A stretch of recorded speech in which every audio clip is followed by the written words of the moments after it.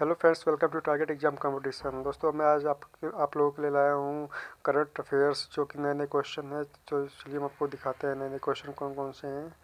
और दोस्तों, अभी तक अपना आपने हमारे चैनल को सब्सक्राइब नहीं किया नहीं किया तो नीचे दिए गए लाल बटन दबा के चैनल को सब्सक्राइब कर लें और वीडियो को शेयर कर दें लाइक कर दें। तो चलिए अब हम दिखाते हैं करंट अफेयर्स जो है कि करंट का भी है। तो ये पहला क्वेश्चन है, किस शहर में प्रधानमंत्री श्री नरेंद्र मोदी ने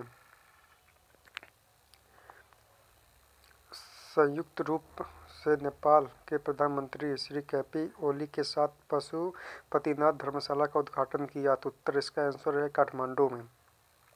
और नेक्स्ट क्वेश्चन है किस तारीख को प्रधानमंत्री नरेंद्र मोदी को नई दिल्ली तालकटोरा स्टेडियम में India post payments bank IPPB launch किया। एक सितंबर 2018 को।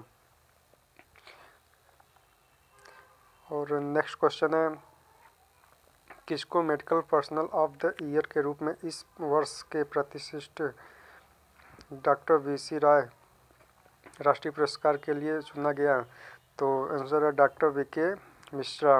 और नेक्स्ट क्वेश्चन है, चौथा क्वेश्चन है, छठवां पूर्व एशिया सम्मेलन और पंद्रहवीं भारत एशियान आर्थिक या मंत्रियों की बैठक कहाँ आयोजित की गई? तो ये सिंगापुर में आयोजित की गई। और नेक्स्ट क्वेश्चन पाँचवा है, पाकिस्तान उच्च न्यायालय का नेतृत्व करने वाली महिला पहली महिला कौन बनी? तो ताहिरा सफदन, सफदर।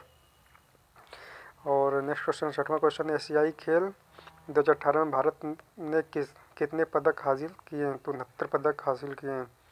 और एशियाई खेल 2018 कहाँ आयोजित किए गए? तो ये इंडोनेशिया में आयोजित किया गया था।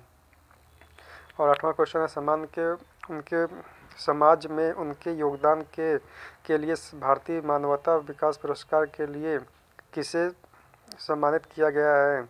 तो शबाना आजमी। और नेक्स्ट क्वेश्चन नवा है 2018 इंडोनेशिया एशियाई खेलों में सबसे मूल्यवान खिलाड़ी का खिताब किसको दिया गया? तो रिकोका आइकी को। और दसवां क्वेश्चन है, दक्षिण पूर्व एशिया के डब्ल्यू एच ओ क्षेत्रीय समिति समिति का इकहत्तरवां सत्र किस देश में आयोजित हुआ? भारत में।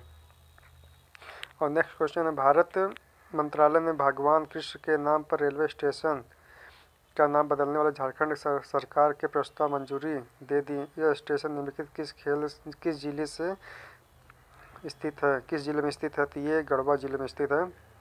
बारहवा क्वेश्चन है, किस देश के भारत, किस देश से भारत सात हज़ार करोड़ रुपए की कुल लागत कर एट्टीन बुलेट ट्रेन सेट खरीदा? तो जापान ने खरीदेगा, जापान ने खरीदेगा।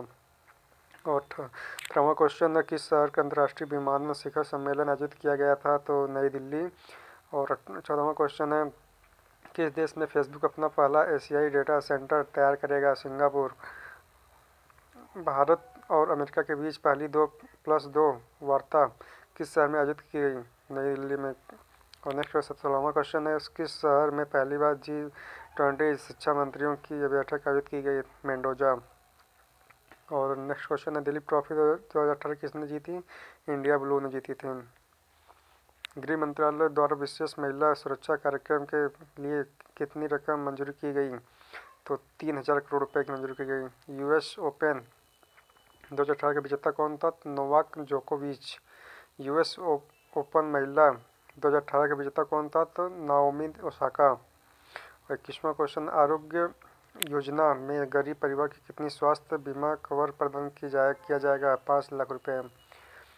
नेक्स्ट क्वेश्चन, किस शहर में में दूसरा भारत भारत संयुक्त अरब अमीरात? भागीदारी शिखर सम्मेलन आयोजित किया जाएगा दुबई। तेईसवा क्वेश्चन है, बिहार और नेपाल के बीच पहली बस सेवा किसने ध्वजांकित की? तो नीतीश कुमार। भारत का पहला विश्वविद्यालय कौन कहाँ है? भारत का पहला रेलवे विश्वविद्यालय कहाँ है? बड़ोदरा में है। और, पच्चीसवा क्वेश्चन है। भारत भारत अमेरिका संयुक्त सैन्य अभ्यास, युद्ध अभ्यास दो हज़ार अठारह किस राज्य में आयोजित किया जाएगा? तो उत्तराखंड में। और नेक्स्ट क्वेश्चन है छब्बीस का, देख लीजिए। आर्थिक मामलों की कैबिनेट कमेटी द्वारा दो हज़ार सत्रह अठारह से दो हज़ार उन्नीस बीस की अवधि के लिए क्षमता विकास योजना जारी रखने के लिए कितनी राशि अनुमोदित की गई है? तो बाईस सौ पचास करोड़ रुपये आंसर हो जाएगा। और सत्ताईस वाला देख लीजिए। किस राज्य में सर्वदेश दर्शन योजना के तहत पहली जनजातीय सर्किट की परियोजना उद्घाटन किया गया? छत्तीसगढ़। भारत के अगले मुख्य अध्यास के रूप में किसने नियुक्ति किया गया? तो रंजन गोंगाई को। और नेक्स्ट क्वेश्चन है किस संस्थान ने भारत की पहली स्वदेशी परमाणु परमाणु चिकित्सा किट की विकसित किया है? और किसका है? हो जाएगा I N M A S Nai Delhi.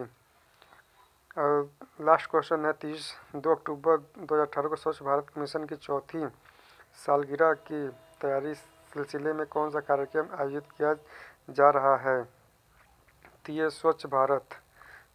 स्वच्छता ही सेवा, यही आयोजन किया जा रहा है। तो दोस्तों, अगर आपको हमारी वीडियो पसंद आती है, इसको लाइक शेयर चैनल को सब्सक्राइब करें। जय हिंद, जय भारत।